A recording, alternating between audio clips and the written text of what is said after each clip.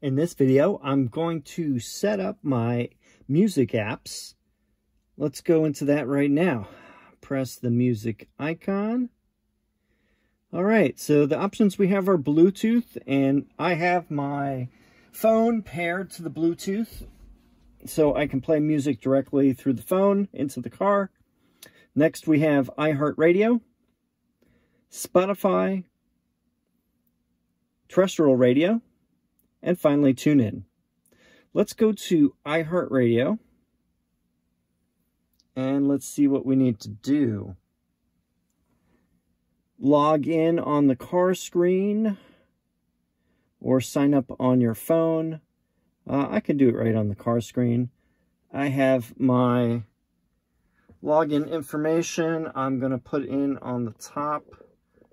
Let me put this a little bit higher. So let me put in my email and my password. Then you press the login button at the top.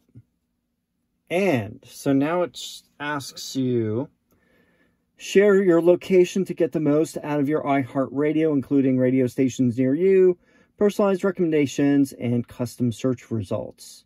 Tap next to accept or deny location access. So yeah, I'm going to accept it because I want to see what's near me. allow.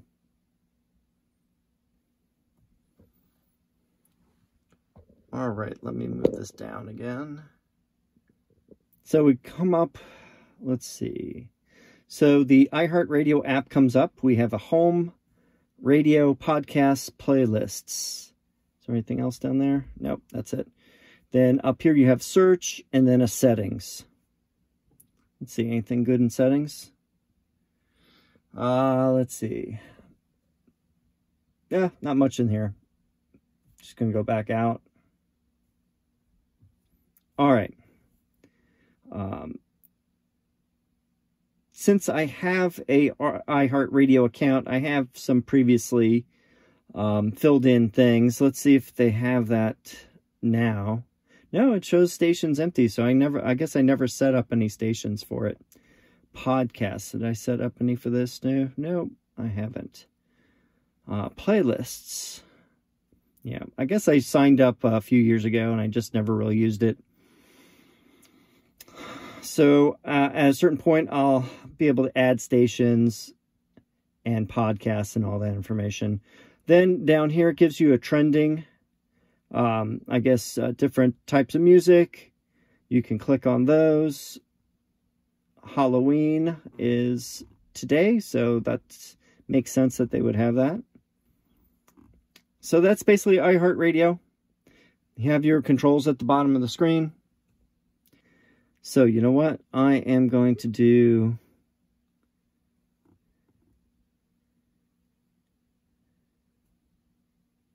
Pop Top 40. Let's see what that does. Of course, I can't play music on YouTube for copyright reasons, so we'll have to cut that out. All right, so that's iHeartRadio. Going back to the main menu, we have Spotify.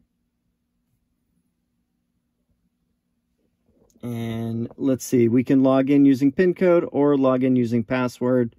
Let's just do the password and the login screen is way up top. I'll enter my email and password. Now it says to log in. Let's see what it does. Let me move the camera back down again to see.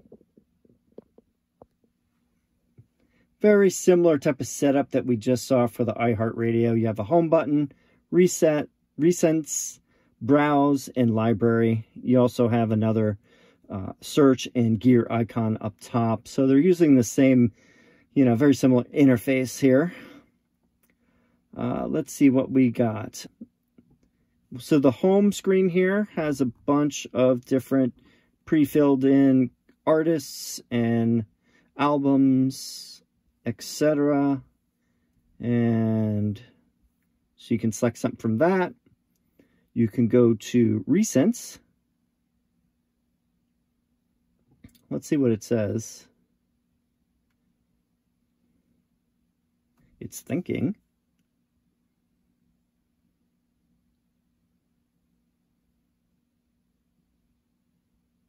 No recents. Okay, it makes sense because this is a brand new car. Browse. Okay, this is where you can pick your genre. You can go through and select what you like. And it looks like there is a lot of different things in here. So, and yep, so lots to choose from.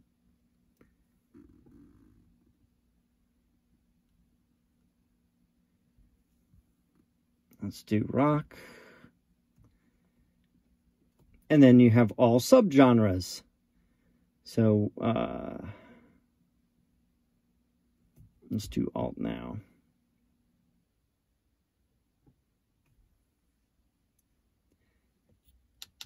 And, of course, I can't play the music, but imagine music is playing right now. So it is playing. Um, like most controls, you have the rewind, pause, fast forward, or next track, uh, the name of the artist and song, and then a little heart. You can click on the heart for favorites. So we can go back. So that was Spotify.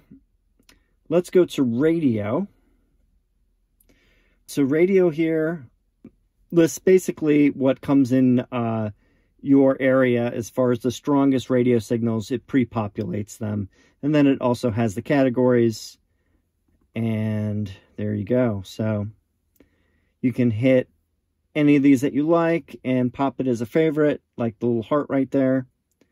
And that's about it for terrestrial radio. Pretty straightforward. Uh, if you click on favorites, it'll just show the two stations that I had checked off.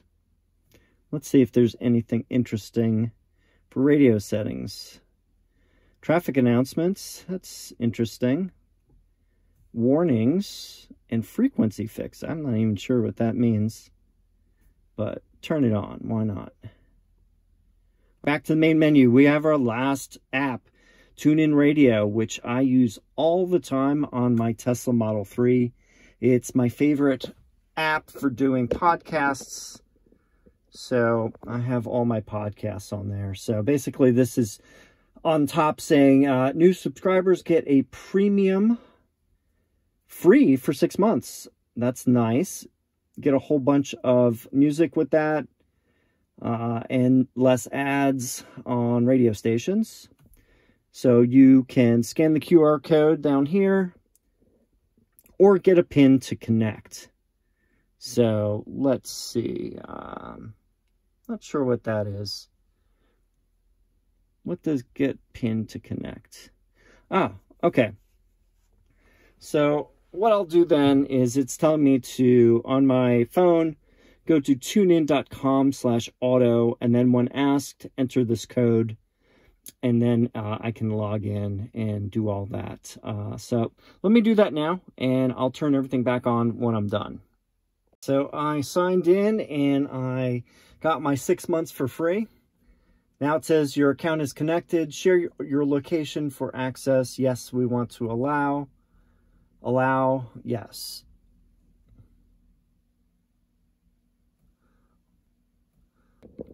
Likewise, we have our home button, recents, favorites, browse, search, and gear for settings.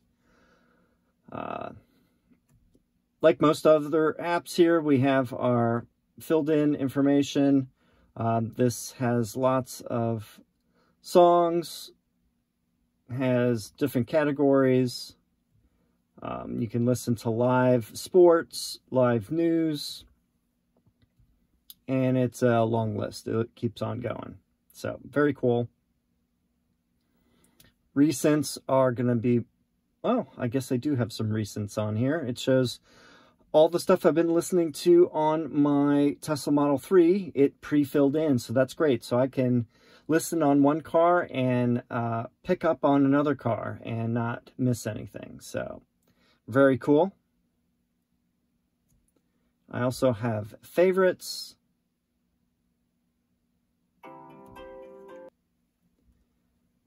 Browse. This is how you can find granular detail on whatever particular type of music or podcast or talk radio or sports, any of that stuff, audiobooks even. So tons of stuff in here that you can look and add to your account. So I like this a lot. TuneIn is probably what I'll be using most. I, I really like that application because you can use it on your uh, PC and add things to it and it shows up right in your car. So pretty nice. All right, so I hit the back button, brings us out to the main menu. So this was a quick overview of setting up the music apps. I think it's been promised that there's going to be more apps coming. I would definitely like to see Apple Music, Amazon Music. The one I'm, I'm really looking forward to is if they can add Sirius XM streaming would be awesome there's there's a bunch of other uh, streaming audio apps too, like Pandora. That would be nice. I know some people prefer that to Spotify, and um, yeah, so that'll be great. I'm I foresee them adding more over time, and it should be pretty pretty easy to do since it's just a software upgrade. All right, so that's it. Summarizing the music uh, situation. I hope you enjoyed this video. If you have any comments or questions, please leave them down below. And I'll see you in the next video.